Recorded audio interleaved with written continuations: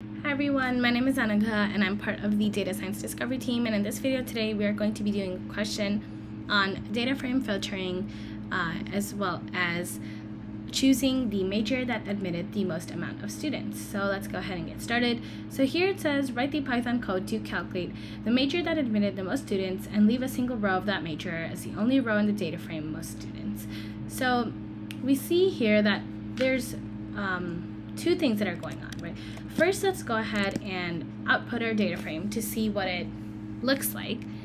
And here, it's, it's basically the admission records from UC Berkeley's grad program in fall 1973. So we have these many rows here, 12, uh, 12,763 rows, right? In each row represents a application to the UC Berkeley basically grad program in fall 1973 and it contains their year major gender as well as the admission decision of that application.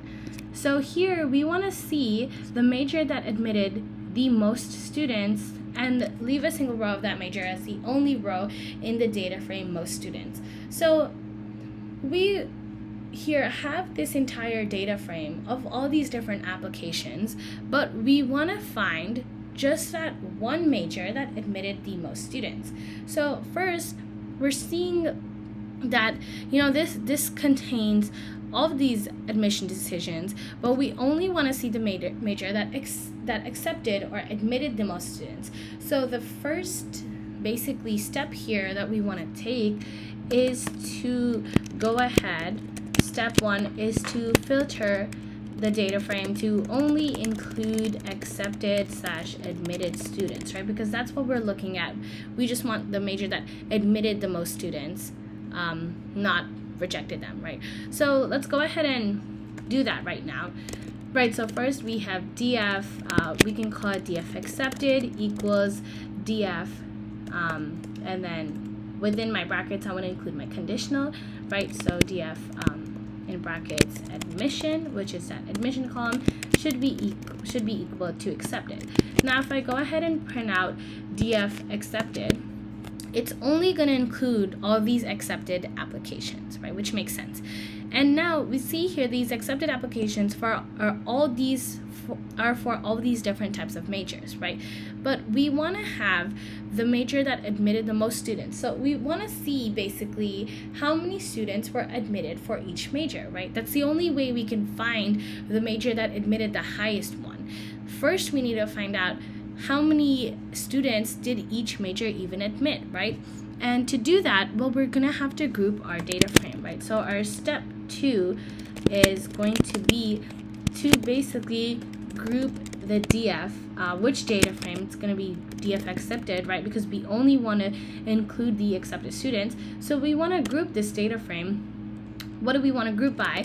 Well, we want to group by major, right? Because we want to find the major that admitted the most students. Basically, we want to have a data frame where each row represents each major and it, it tells us how many students were admitted for that major. And then we just want to find the highest row in that. We just want to find the, the major with that highest amount right? So we want to group df accepted by major and we want to aggregate by well we know we have uh, we can aggregate by mean we can aggregate by count or the sum well, it doesn't make sense finding the mean of anything here, right? We can't find the mean year, the mean major, or the mean gender admission. That doesn't really make sense. So now we're wondering if we should aggregate by sum or by count. Well, we have here all of these accepted applications, and we basically just want to count up how many accepted applications were in each major, right? How many students were admitted into each major. So we want to go ahead and you know go through each row and basically count up how many rows were in each major because we're only dealing with accepted rows in the first place. So we, we don't really care about the admission because it's only accepted, right? So we want to go ahead and basically for each major, how many rows in this data frame belong to each major, right? So that is an indication that we should use count, right? We're not really summing anything here. It doesn't make sense to sum up the year or the gender or the admission. You can't sum strings anyways. And summing up the year just doesn't make sense, right? Because we don't want to find like the total sum of all the years that you know each each application and each major applied to right um, we simply want to find how many rows belong in each major so we want to go ahead and basically um, group by major using count right so we want to do df we can call this um, you know another another name basically so maybe we can call it I don't know, DF major because we're, we're, grouping by major. So equals DF accepted, right? We only want to look at DF accepted because we only want to look at all these accepted students. Dot group by, um, and here we want to group by major. Dot aggregate by count, and then dot reset. And let's go ahead and print out DF major to see what that looks like. And basically here we have each row represents each major, and these numbers, which are the same in each row, represents how many applicants, how many accepted applicants were for each single major. And the reason why all these values are the same is because when we're aggregating by count, we don't really care about these specific values in each of these specific columns for each row. We're simply just counting up how many rows belong in each major. That's why 914 is same throughout this this first row for major A because at the end of the day there were 914 rows for major A. There were 914 total accepted applicants for major A. For major B there were 370 total accepted applicants. So we're just basically going through the data frame and for each major we're just counting up the rows that belong in in that group which we're grouping by which is that major. If we were to use sum instead we would see here there's only one column, which makes sense because we can't sum up gender and admission because those are both string variables. We can only sum up the numerical variable, which is year. So it's basically going through each row, and for each row that belongs in major A, for major B, C, D, it's just summing up all those years in those specific rows, which is why these are such large numbers because we're summing up like 1973 a bunch of times for however many rows belong in major A and major B. So what the sum is doing, it's like going through the data frame and for each row that belongs to each major, it's summing up the year the year column. Um, and that really doesn't make sense in this situation because we just want to find the major that admitted the most students. Um, and we just want to find basically those total number of accepted applicants for each major. So that's why using count makes sense. And basically, step three would be to find uh, the major that admitted the most students, right? So we're gonna have to see what has the highest, the highest uh, total for these total number of accepted applicants, right? So, and we want to store that in most students. So most students equals, um, well, if we just look at here, right, which major seems to have the highest number of admitted students? Well, here it should be like the other major, right, which has 3,164. How did I find that?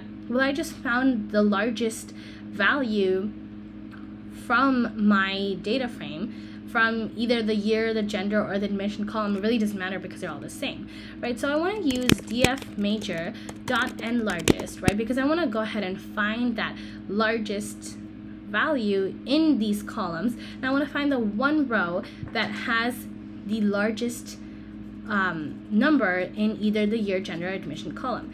Now I want to do df major dot n largest. Let's see, one comma year and to be honest, I don't know which order it is, right? I don't know if it should be like, let's say you forgot, like whether the which arguments came in which order, right? Whether the, it was the row, like the number of rows you want, or the or the specific column.